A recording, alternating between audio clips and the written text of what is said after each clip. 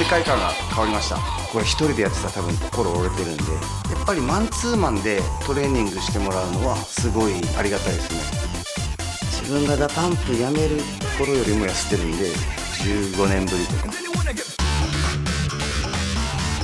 さらにちょっともう一声できたらなと思っているので、はい、またそのトレーナーさんと一緒にちょっと頑張っていきたいなと思います。はい15年ぶりのキレを取り戻した雪成。これからのパフォーマンスに一番期待しているのは彼自身かもしれない。USA もともとやっぱりダイエットするとしたらまあ食事をしないとかそういうことがまず先に出てくるんですけどもライザップではご飯を食べながら、まあ、食事しながら、えー痩せていくというやり方はちょっと衝撃的でしたね。靴下がすぐ履ける。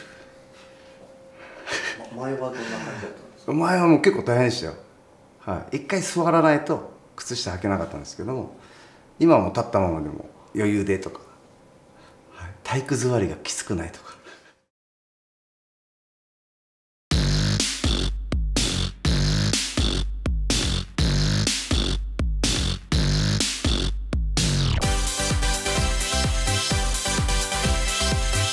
結果にコミットする。